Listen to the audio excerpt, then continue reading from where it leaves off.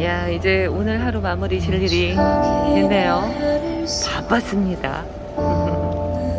아, 그동안 창업 준비하셨던 분들 어, 문의하셨던 분들 많이 오셨죠?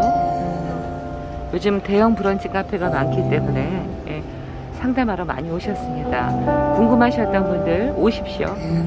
유튜브 보시고 많이 오셨어요. 아, 저희 앞에 부스에 있는 그 여기 부스가 부스의 대표님이 너무 좋아해요. 귀 호강한다고.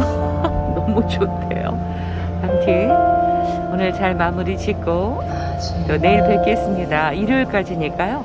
편하게 오십시오.